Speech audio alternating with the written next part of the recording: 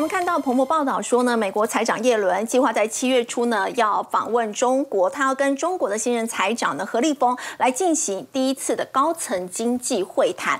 不过廷浩比较奇怪的是，看似美中关系呢出现和缓了，在这个时间点呢却传出说呢，那么拜登政府呢计划要对拟定一项这个行政命令，就是对华投资的一个限制。所以现在美中关系到底是如何？没错，其实布林肯才刚回来，那感觉上一次的会上一次的会谈，老实说，感觉好像。也没有谈成什么，甚至还是有有一些冲突哦。所以这一次美国财政部长耶伦啊，跟中国新任的财长何立峰的会面啊，就让大家十分关注啊。到底在美中之间，至少在财政上会不会有一些相互的互动？尤其你刚才所提到的，这一次美国证呃证券交易委员会哦的一次小组会议，已经拟定可能会执行一项行政命令，就是针对中国不管是科技相关，或者是私募或者风险投资相关，可能采取一些限制。我们都很清楚，中国在过去几年。当中啊，虽然有很多的企业，它是强迫要以合资的方式来做经营，可是它已经陆续开放一些管道，比如说像是特斯拉，特斯拉就是美国独资来做经营哦。同时间，它也大举的开放美国的一些投行直接进入到中国进行相关证券的业务，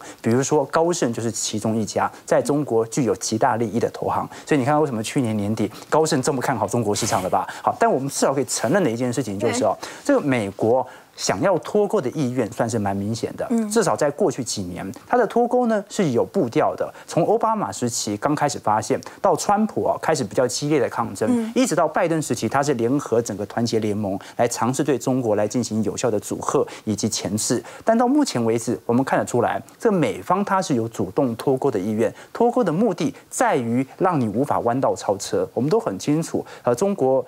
政策啊，以前过去有一个这个双超政策啊，好，先抄袭再超越你。那抄袭的唯一的要点就是一定要在你后面，好，比如说跟在你后面走，你在前面呢左拐的话，我就跟着你左拐，这样可以确保我不会走错路。那现在问题就在于美方把后面的这个红绿灯啊给拔掉了，你不能再跟着我的车了。所以未来我是左拐还是右拐，在科技领域的部分你已经追不到了，你已经失去它的技术的源头。那美方的利益是这样的，那中方的利益呢？中方的利益就完全就不是要脱钩了。我们讲说脱钩的反义词，并不是要亲近，脱钩的反义词是让你无法脱钩。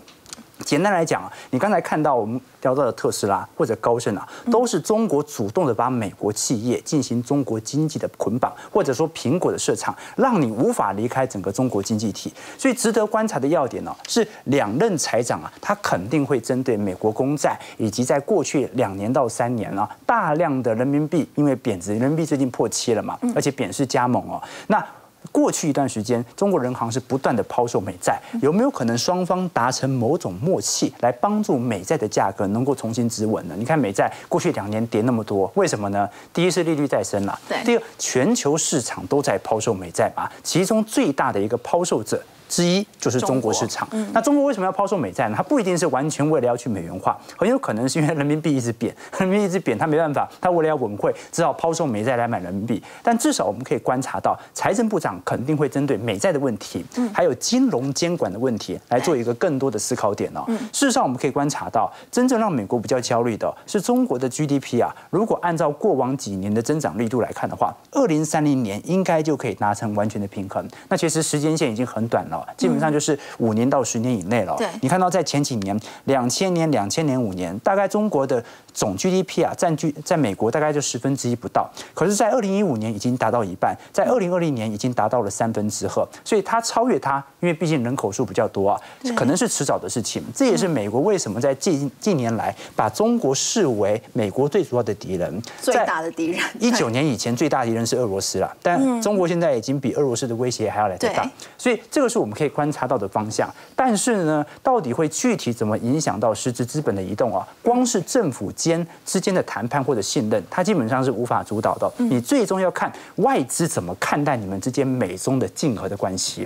那我们看得很清楚，其实，在过去几年间哦，外资针对整个中国资产的策略已经算是蛮显著的。说美国想脱钩，欧洲也是吗？哎，欧洲最近也有这种感觉。本来美国在跟中国的贸易啊稍微比较冷淡之后啊，中欧之间的交易易贸易量其实是有显著上升的。但是呢，在最近中国欧盟商会六月二十一号所发布的一份调查显示啊，由于中国经济疫情之后啊，呃，复苏是乏力的，加上一些反间谍法等等相关原因啊，导致很多的外国公司对中国市场这个全球第二大经济体啊，有一些信心的丧失。那我们基本上啊，直接从数据图来看就非常明显了，就是外资到底现在是怎么看待中国市场的？我们都很清楚哦，未来全球要复苏，中国市场股市或者说整体经济状况一定会好。它还是最大的终端的出口国，所以呢，未来复苏的话，中国经济一定会好。但问题在于，你复苏，你经济好，有代表我会把大量资金投入在你本国本土吗？我们就从 FDI，也就是外国直接投资来做观察。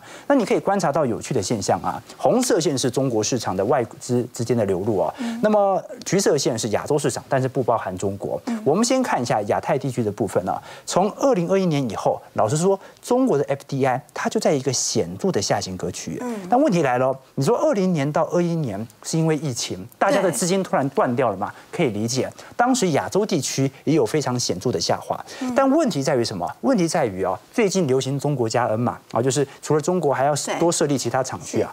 亚洲地区已经开始有显著的上升，开始往上了。中国地区还在下滑，还在下滑。这就说明外资的态度已经非常明显了。你仍然是全球非常重要的经济制造大国，但是不代表我会把大量的资金投注在中国市场。所以这个。